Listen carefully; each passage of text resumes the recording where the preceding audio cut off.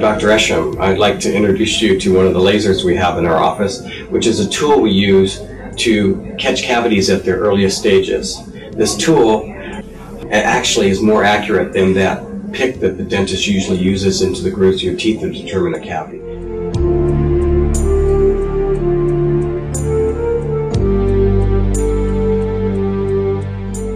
Let me show you how it works. Um, the, it's a small laser that uh, we point down into the grooves of your teeth and it fluoresces bacteria.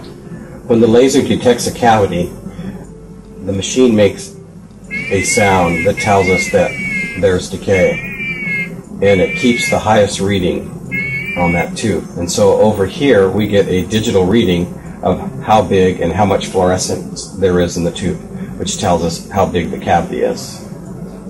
So by finding cavities at the earliest stages, we save your tooth structure, and that makes your tooth healthier for a lifetime.